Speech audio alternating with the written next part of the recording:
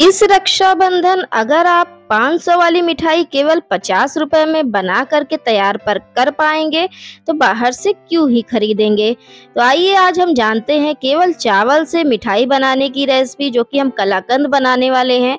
बहुत ही ज़्यादा स्वादिष्ट रेसिपी बनेगी ये और बहुत ही ज़्यादा टेस्टी मिठाई बन करके तैयार होगी वो भी देसी घी वाली, केवल पचास रुपए में। तो आइए रेसिपी को जानते हैं। तो यहाँ पर हमने कटोरी में चावल लिया था, आपने देखा कितना लिया था? और चावल को कॉटन के कपड़े में अच्छी तरीके से पोछ लेना है। तो हमने पुलाव वाला चावल लिया है। आप अदर चावल कोई भी ले सकते हो, कोई भी क्वालिटी का। इसमें कोई दिक्कत नहीं है, लेकिन हमारे पास पुलाव वाला था तो हमने इसी का बनाया है। तो ये देखिए, हमने चावल को अच्छी तरीके से साफ़ कर लिया है। फिर इसके बाद इसमें कढ़ाई रखेंगे और कढ़ाई में डालेंगे देसी घी। तो देसी घी करीब हम अगर चम्मच से नापें तो हम चार चम्मच देसी घी बड़े चम्मच से डाल रहे हैं, जो किचन में चम्मच आपके यूज़ होता है बड़े साइज़ का, बस उसी से। और ये थोड़ा देसी घी जमी हुई है, इस वजह से आपको समझ में नहीं आ रहा है तो इसलिए हमने आपको चम्मच के अंदाज बता दिया। फिर उसके बाद इसमें चावल डालेंगे और चावल को डालने के बाद चावल को अच्छी तरीके से रोस्ट करेंगे।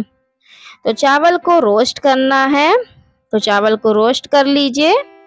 और कितना रोस्ट करना है वो आप वीडियो में देख पाओगे तो प्लीज़ इसके लिए वीडियो में बने रहिएगा। वीडियो को बिना स्किप किए पूरा ज़रूर देखिएगा, ताकि सारे स्टेप्स आपको मालूम चल सके। तो ये देखिए, चावल अच्छी तरीके से रोस्ट हो गया है हमारा। और इससे चावल रोस्ट करने से क्या होता है कि बहुत ही अच्छा टेस्ट आता है और सूंधा सूंधा इसमें टेस्ट आएगा मिठाई में और बहुत ही ज़्यादा स्वादिष्ट मिठाई बनेगी और एकदम कलाकंद की तरह आप इस मिठाई को बना पाओगे। तो ये देखिए चावल को हमने निकाल लिया है, कढ़ाई से बाहर कर लिया है। अब इसे रख देंगे 10 से 15 मिनट के लिए पंखे के नीचे ठंडा होने के लिए।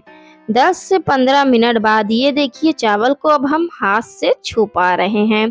तो हमारा चावल अच्छी तरीके से ठंडा हो गया है। तो अब इसे ग्राइंडिंग जार में ट्रांसफ़र कर लेंगे। तो इसको ट्रांसफ़र कर लेंगे और ट्रांसफ़र करने के बाद आपको जो ये प्लेट में, जिस प्लेट में चावल है, उस प्लेट को आपको बिल्कुल अलग नहीं करना है, इसको रखना है। अभी यूज़ में आएगी क्योंकि काफ़ी सारा उसमें घी लगा हुआ है। फिर इसके बाद जब चावल ग्राइंडिंग जार में ऐड कर लीजिए तो काजू ऐड कर लीजिए, जितने आपके पास हो तो मैंने पाँच से सात काजू डाले हैं इसमें।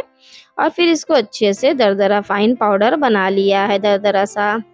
तो इसी तरीके से आपको इसका पाउडर बनाना है, ताकि दरदरा ही बनाना है, क्योंकि अगर दरदरा नहीं बनाएँगे तो आपका कलाकंद अच्छा नहीं बनेगा। इसलिए आप दरदरा सा इसका पाउडर बना लीजिए। मिक्सी को रोक रोक के चलाइएगा ताकि पाउडर हमारा अच्छे से तैयार हो जाए। फिर उसके बाद एक कढ़ाई लेंगे। कढ़ाई में जितना चावल लिया था उतनी ही चीनी लेंगे और चीनी लेने के बाद इसको अच्छी तरीके से मिक्स करते हुए कैरिमल करेंगे चीनी को। तो चीनी को अच्छे से कैरिमल करना है हमें तो इसको चलाते रहेंगे।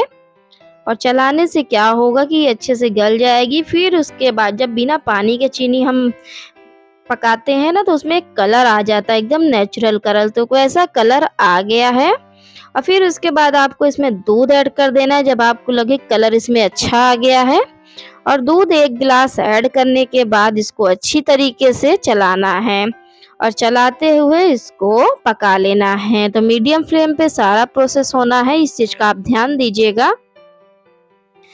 तो आप देख पा रहे हो, फिर जब ये अच्छे से चीनी सारी इसमें गल जाए, जो आपने कैरमल करी हुई थी तो इसमें आपको पाउडर ऐड कर देना है, जो आपने चावल का फाइन पाउडर बना के रखा था। उसे ऐड करना है, और उसे ऐड करने के बाद इसको बराबर से चलाते हुए मीडियम फ्लेम पे, मीडियम टू हाई करते रहिएगा बीच बीच में यहाँ पर फ्लेम। और इसको बराबर से चलाते हुए आपको पका लेना है ताकि बिल्कुल लम्स ना पड़े।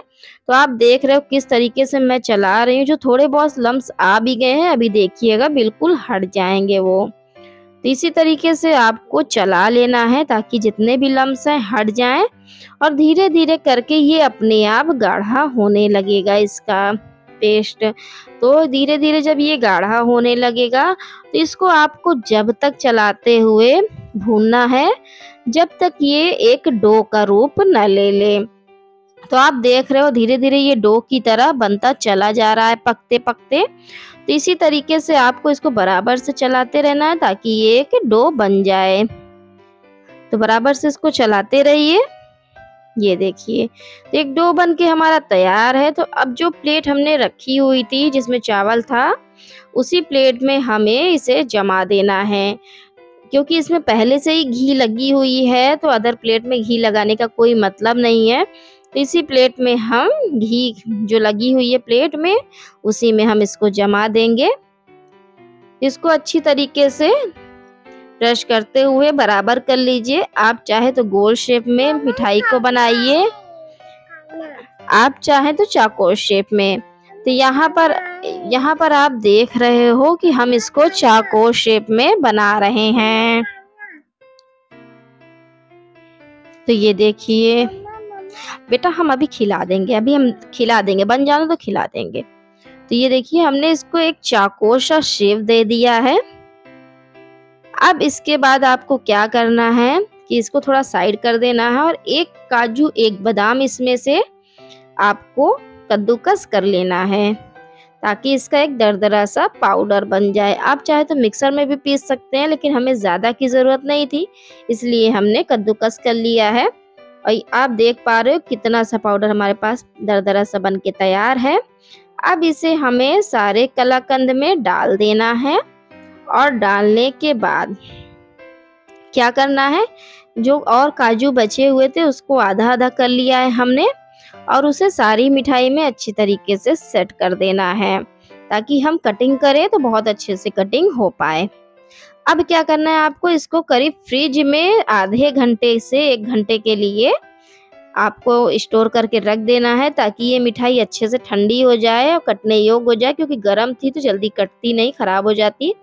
तो अब ये ठंडी हो चुकी है तो आप देख पा रहे हो ठंडी होने के बाद मैं इसको कटिंग कर रही हूँ।